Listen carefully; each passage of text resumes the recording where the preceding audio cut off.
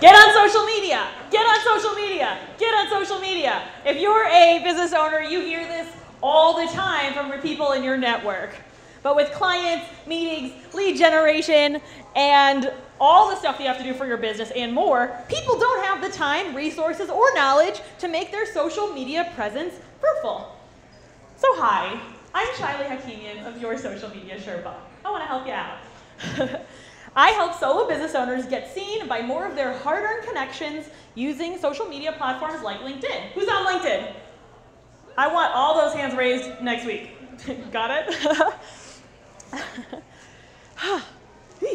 so I facilitate down-to-earth, one-on-one learning sessions, helping clients feel empowered to reinvest in their own marketing by doing their own social media. So I've been working in social media officially for the last six years, but unofficially since all the way back in the days of MySpace. MySpace? Yeah? Huh? Love it. Uh, this, in combination with being a speaker and a certified teacher, I think makes me suitable for this job. Extra, extra. So people tell me that they think their own social media is awful. Who, does anyone here think their own social media is awful? Some people, Rebecca's shaking her head. Rebecca's social media is on fleek. It's amazing. Some people say that to me, and I'm like, fact that you even have a social media profile in the first place means you're already winning and that you already have a huge win in your hand. So before a, se a session, I take a deep dive uh, at clients' online presence and create custom social media goals that I can hold my clients accountable to. So one client noted that she loved the baby steps I gave her for her social media. Some example of clients I've worked with are real estate agents, chiropractors, photographers, and even an internet coach lots of people. Uh, one nugget that I want to share with all of you is to put yourself out there and show off your coolness on your LinkedIn profile. Future clients or employers are definitely going to look there, and you want to look super duper cool when they do. You want to give them a sense that they've met you because they've seen your profile. So I hope you all do that. It's going to be great. But if you're not uh, so inspired, uh, I want to give you some ideas to make your LinkedIn profile extra freaking fabulous. Who wants some LinkedIn ideas? Right? Yes. Oh, I love it. I love it.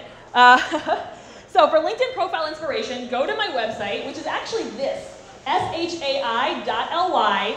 And on the top of that page, you will get a link that you can see all of my favorite LinkedIn profiles and get some really inspired ideas so you can get real cool on the internet.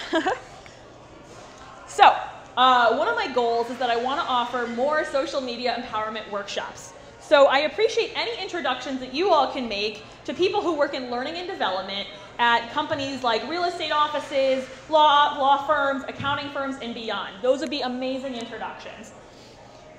But besides that, social media is really dear to me. Uh, as someone who didn't always feel as socially connected as I do now, and I'm saying this having so many friends that I love and adore in this room, like I didn't have that growing up. And social media was the way that kind of changed my life. It brought me to the most amazing people that I could never imagine.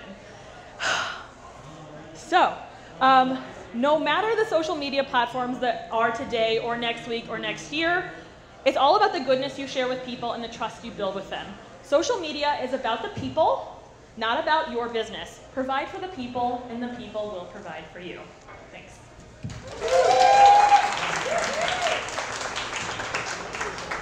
Shaily. So I follow you on LinkedIn, and you post some pretty amazing videos.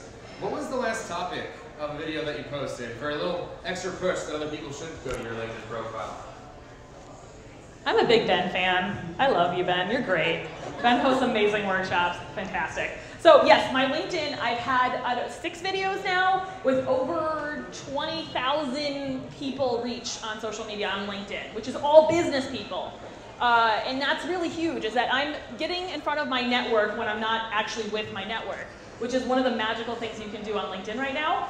Uh, my last video was on the relationship between social media and networking. How can you use platforms like Twitter to get connected with people that you think are super duper awesome? For example, Shy Tribe got connected with a super duper famous celebrity because we tweeted at her and she talked to us, which is awesome away from the person that could give you your future. So that was the last video, and there's plenty more to come about how you can connect with people more personally using the tools of the internet. Thank you,